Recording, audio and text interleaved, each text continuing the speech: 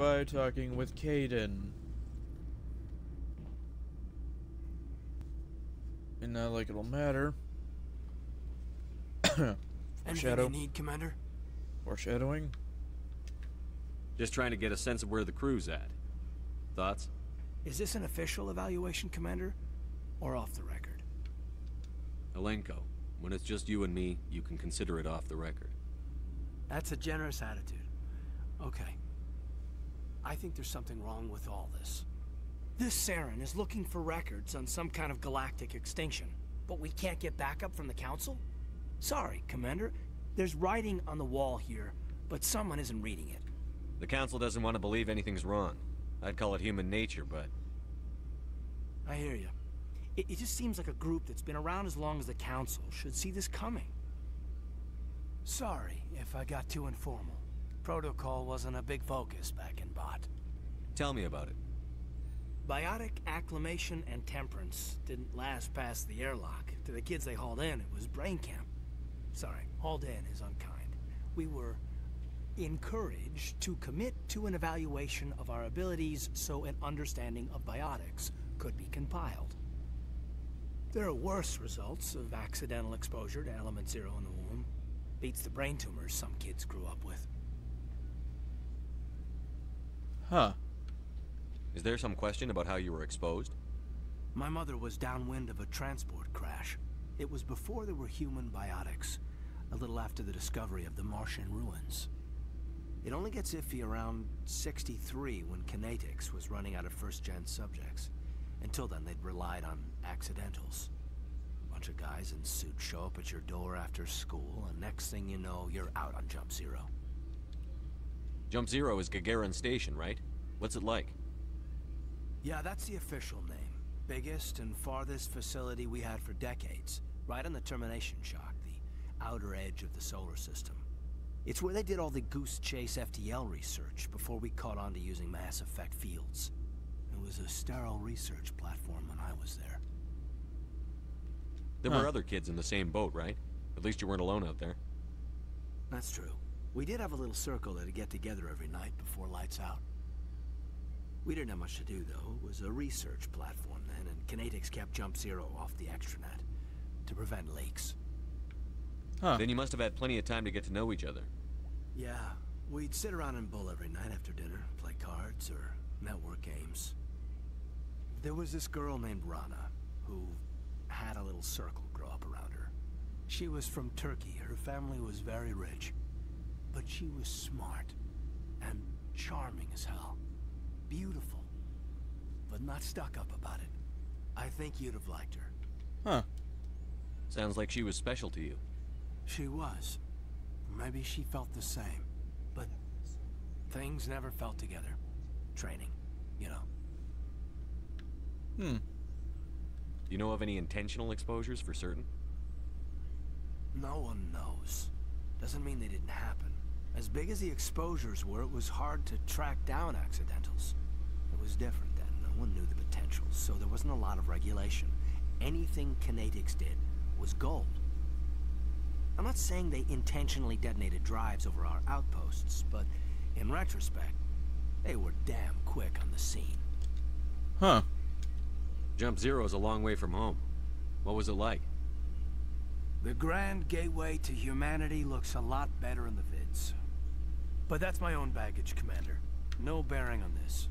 Alenko, there's no regulation that says you can't be friends with your commander. I appreciate that, Commander. I just don't want you to think that I'm a, a whiner. Besides, I've got my past squared away. Okay.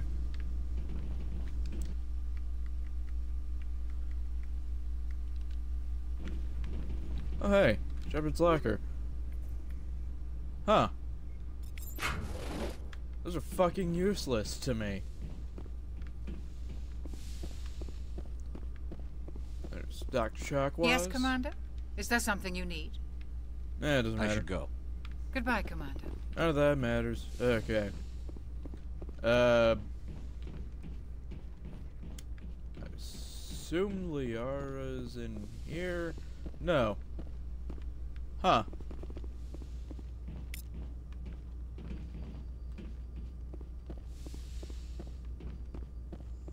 Yeah, there was actually a very good reason why I ex would expect that.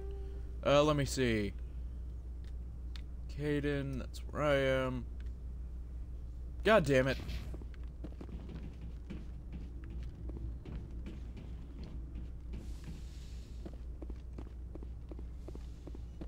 Oh, so they switched this out in the second one for something else. Hello, Liara.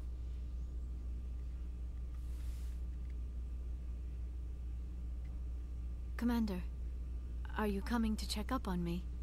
You look much better. How are you feeling?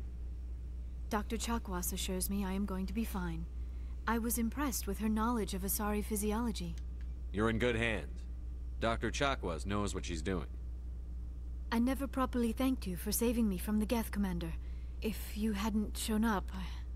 I'm just glad we got there in time. so am I. I know you took a chance bringing me aboard this ship. I have seen the way your crew looks at me. They do not trust me. But I am not like Benezia. I will do whatever I can to help you stop Saren. I promise. Man, they look at you funny because aliens worry, on a human Liara. ship, you know? I trust you. I know you won't let me down. It means a lot to hear you say that, Commander. Thank you. Tell me about yourself, Liara. Me? I am afraid I am not very interesting, Commander. I spend most of my time on remote digs, unearthing mundane items buried in long forgotten Prothean ruins. Huh. Sounds dangerous. And lonely. Sometimes I would run afoul of indigenous life forms or stumble across a hmm. small band of mercenaries or privateers, but I was always careful. Until the Geth followed me to Artemis Tau, I never found myself in any situation my biotics could not handle. As for the solitude, well, that is one aspect that most appealed to me. Sometimes I just need to get away from other people. You don't like other people? I suppose it comes from being a matriarch's daughter. People expected me to follow in Benezia's footsteps. They wanted me to become a leader of our people. Matriarchs guide their followers into the future. They seek the truth of what is yet to come. Maybe that's why I became so interested in the secrets of the past. It sounds so foolish when I say it out loud. It sounds like I became an archaeologist simply to spite Benezia. Man. All children rebel against their parents. It's a natural part of growing up. Aha, you share the wisdom of the matriarch, Shepard. That is exactly what Benezia said when I told her of my decision. But there was more to it than that. I felt drawn to the past. The Protheans were these wondrous, mysterious figures. I wanted to know everything about them. That is why I find you so fascinating. You were marked by the beacon on Eden Prime. You were touched by working Prothean technology. Huh. Sounds like you want to dissect me in a lab somewhere. What? No, I did not mean to insinuate. Uh, I never meant to offend you, Shepard. I only meant that you would be an interesting specimen for an in-depth study. Uh, no, that's even worse. Calm down, Liara. I was only joking. Joking? Oh, by the goddess, how could I be so dense? You must think I am a complete and utter fool. Now you know why I prefer to spend my time in the field with data disks and computers. I always seem to say something embarrassing around other people. Please, just pretend this conversation never happened. I should go. Goodbye, Shepard. Uh, Liara. Mass Effect 1 Liara. So funny. Let me see. Garrus should be back here. Calibrating. Uh, never mind. That's just in every other Mass Effect game. How do I... Unknown. Uh, let's go down below level.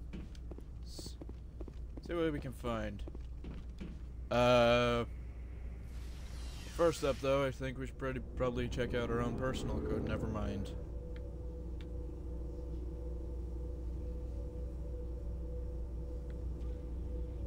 Actually, does Shepard even have personal quarters in this Normandy?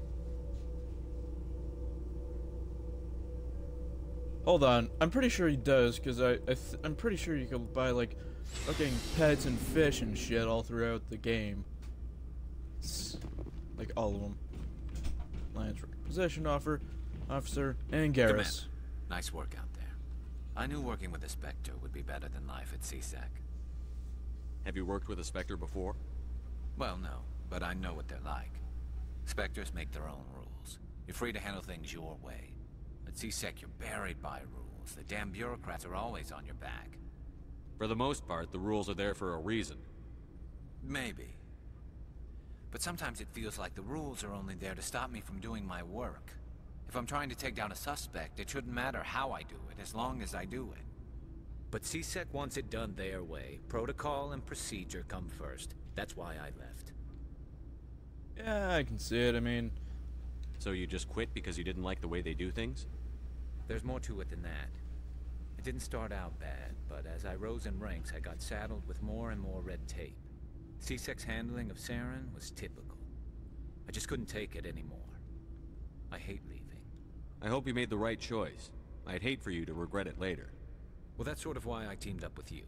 It's a chance for me to get off the Citadel, see how things are done outside CSEC. Either way, I plan to make the most of this. And without C-Sec headquarters looking over my shoulder, well, maybe I can get the job done my way for a change. If getting the job done means endangering innocent people, then no. We get the job done right, not fast. Got it? I wasn't trying to... I understand, Commander. M35 Mako. Such a piece of shit. And now we talk to Wrex. Guten Shepard, what can I do for you? What's your story, Wrex? There's no story. Go ask the Quarian if you want stories. You Krogan live for centuries. Don't tell me you haven't had a few interesting adventures. Well, there was this one time the Turians almost wiped out our entire race. That was fun. I heard about that. You know, they almost did the same to us. It's not the same. It seems pretty much the same to me. So your people were infected with a genetic mutation? Uh, no. An infection that makes only a few in a thousand children survive birth? And I suppose it's destroying your entire species? I suppose it isn't all the same. I don't expect you to understand, but don't compare humanity's fate with the Krogan. Yeah, the Krogan are far fucking worse. Uh, Sorry, Wrex. I wasn't trying to get you upset. Your ignorance doesn't upset me, Shepard. As for the Krogan, I gave up on them long ago. The genophage infected us, but it's not what's killing us. Are your people really dying? We're sure not getting any stronger. We're too spread out. None of us are interested in staying in our own system. Lots of species have left their homes and prospered. But they go to colonize new worlds. We're not settlers. We're warriors. We want to fight. So we leave. Hire ourselves out. And most of us never go back. huh. What can you tell me about the genophage? Ask the Salarians if you want details. They made it. All I know, it makes breeding nearly impossible. Thousands die in stillbirth, and most never get that far. Every Krogan is infected. Every one. And no one's rushing to find a cure. Huh. Why don't the Krogan try to find a cure? When was the last time you saw a Krogan scientist? You ask a Krogan, would he rather find a cure for the genophage or fight for credits? He'll choose fighting every time. It's just who we are, Shepard. I can't change that. Nobody can. Huh. So long, Wrex. Shepard. Commander, you have a minute to talk. I keep an open door policy. If you have any concerns, lay them on me. All right. I I know things are different aboard the Normandy, but uh, I'm I'm concerned about the aliens, Vakarian and Wrex. With all due respect, Commander, should they have full access to the ship?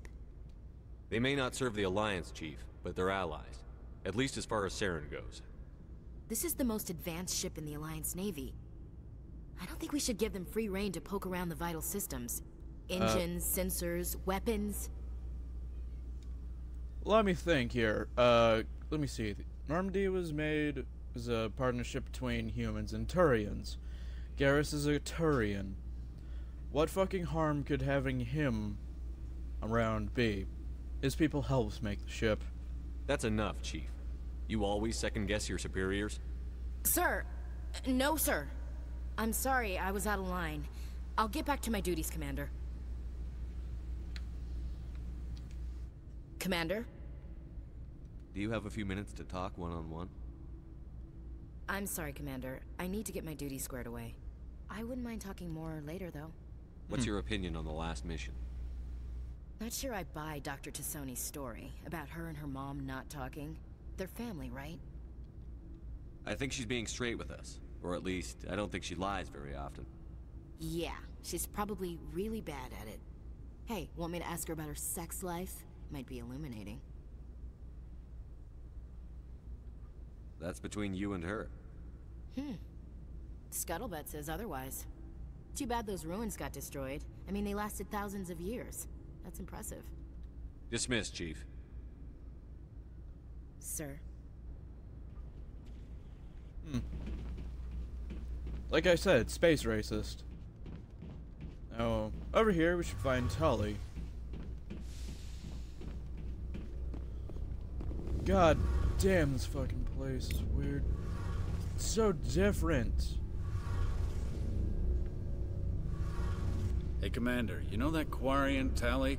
She's been spending all her time down here asking me about our engines. I'll tell her to leave you alone. What? No, she's amazing. I wish my guys were half as smart as she is. Give her a month on board and she'll know more about our engines than I do. She's got a real knack for technology, that one. I can see why you wanted her to come along. I figured she'd be a real asset to the team. You got an eye for talent, Commander, but I'm guessing that's not why you came down here. Fill me in on the IES stealth systems. How does it work exactly? You can't hide a ship out in space. They emit too much heat and radiation. Too easy for sensors to pick them up, unless you find a way to capture those emissions. So our stealth systems trap the energy we give off in storage sinks built into the ship itself. No emissions to give away our location. Eventually the sinks have to be vented. More than a few hours silent running and they overheat. Cook us inside our own hull. Hmm. There's no way for anyone to detect us? A visual scan can still pick us up. Anyone looking out a window can see us plain as day. But you have to be pretty close to get an actual visual out in space. Most vessels rely on scanners. As long as the stealth systems are engaged, they can't see us. Not unless we accelerate to FTL speeds. Huh. Why doesn't it work with faster than light travel? Cranking up the FTL blue shifts our emissions, pushes them into frequencies too high to capture in the sinks. As soon as we make the jump, it's like setting off a flare. Sensors can pick up our location whenever we enter or exit FTL flight, but for short-range missions, our stealth systems are amazing, and we've got the only one. Huh. Where else have you served, Adams? If you name a class of Alliance ship, I've probably served on it. Everything from dreadnoughts and carriers right down to frigates like the Normandy. My last assignment was on the Tokyo, only a cruiser, but she was a good ship. Couldn't hold a candle to the Normandy, though. Huh. Neat. Carry on, Adams. Aye, aye. Well, at least Adams isn't a space racist. Your ship's amazing, Shepard. I've never seen a drive core like this before. I can't believe you were able to fit it into a ship this small. I'm starting to understand why you humans have been so successful. I had no idea Alliance vessels were so advanced. The Normandy's a prototype. Cutting-edge technology. A month ago, I was patching a makeshift fuel line into a converted tug ship in the flotilla. Now, I'm sitting on board one of the most advanced vessels in Citadel space. I have to thank you again for bringing me along. Traveling on a vessel like this is a dream come true for me. I had no idea you found ship technology so interesting. It comes with being a Quarian. The migrant fleet is the key to the survival of my people. Ships are our most valuable resource. But we don't have anything like this. We make do with cast-offs and second-hand equipment. We just try to keep them running for as long as we can. Some of the fleet's larger vessels date all the way back to our original flight from the Geth. Huh. I can't believe your fleet's still using ships that are three centuries old. They're constantly being repaired, modified, and refitted. They aren't pretty, but they work. Mostly. We've tried to make ourselves as independent as possible on the flotilla. Grow our own food, mine, and process our own fuel. But some things we just can't make on our own. A patch to maintain the hull integrity requires raw materials we just don't have. That's why our pilgrimages are so important. Huh. I should go. See you later. Almost 20 minutes, well 21 minutes and we have only talked to everyone. Wow. Oh, wait, except son of a bitch, the requisition officer. Hey, Commander. Looking for some extra supplies before you head out? What have you got? Whatever you want. Armor, weapons, mods. It's not standard Alliance issue, but that's not necessarily a bad thing. Well, as long as you don't mind paying for it. Why should I pay you for my weapons and armor? My stuff doesn't come from the Alliance. I have to purchase it myself, and it's not cheap. Hell, the licenses alone have set me back more than I'd like. But no licenses, no goods. Without the goods, I'm out of a job. Huh. Let's see what you've got. You bet, Commander. Huh. Cannot afford that. Cannot afford that. Cannot afford that. That's fucking useless to me. Useless.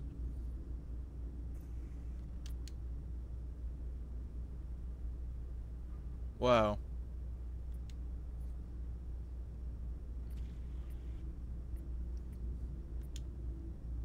Hmm.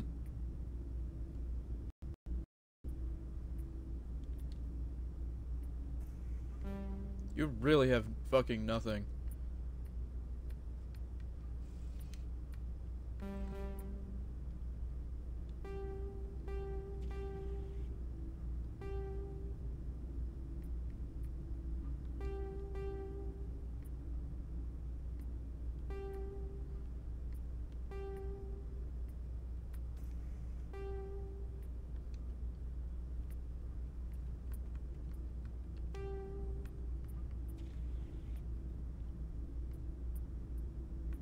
I'm actually now legitimately confused on all the shit I have. Uh, that is heavy armor.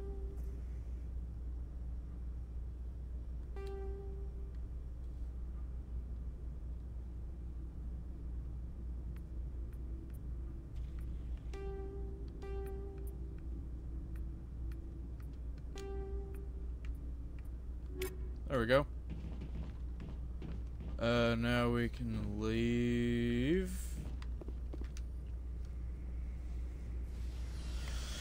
First full episode on the Normandy. Whoa. Now I just have to see if I could. Ugh. God. Yeah. I really needed the stretch.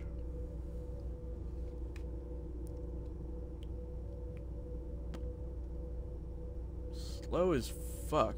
God damn, come on. There we go.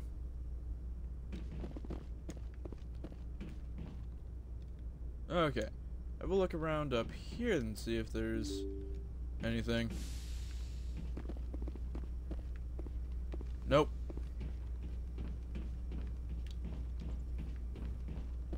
Huh. Wait a minute. Oh. Hmm.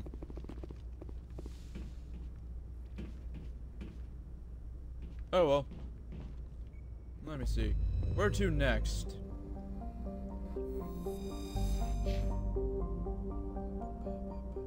Son of a bitch, I'm an idiot.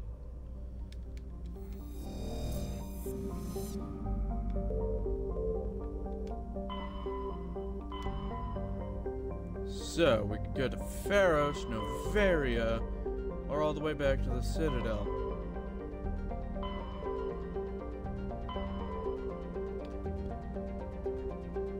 Let's go, Feros.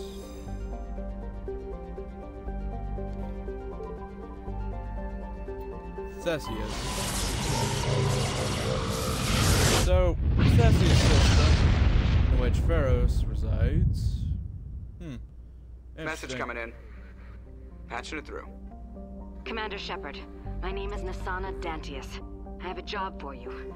I can't say any more in an unsecured communication.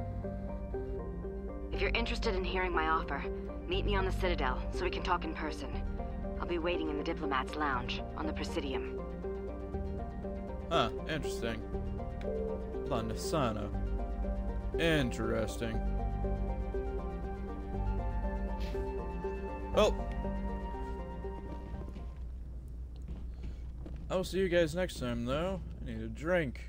Probably have this going for long enough. So see you guys next time on more Mass Effect 1.